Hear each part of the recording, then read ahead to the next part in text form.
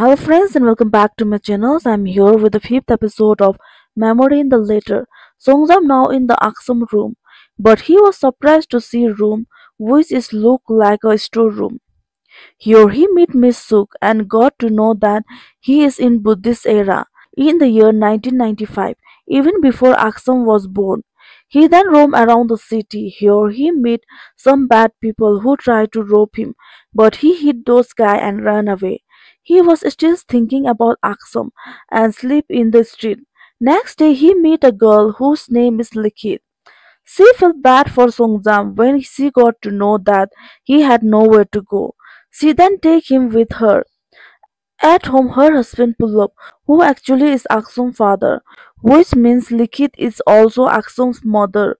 He was upset to see her wife bringing a stranger home, but she convinced him to let him stay with them. Then Pullab let him, but he asked him to pay rent.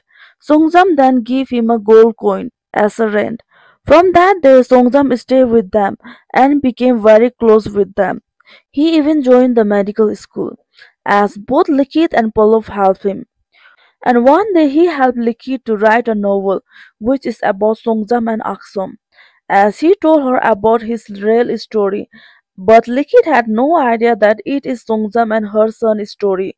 Here Songjam changed his original name with Kyo with Likhit's suggestion, and it's clear that Kyo, who is Aksorn's senior, always helps him, is actually Songjam from other world.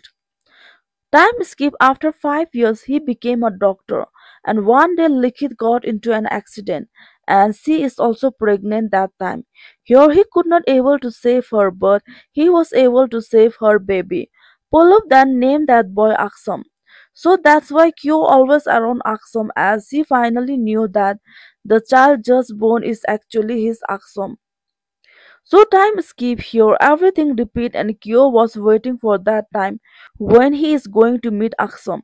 Meanwhile, Aksorn was crying as he thought he will never able to meet Songjam when he saw the broken mirror.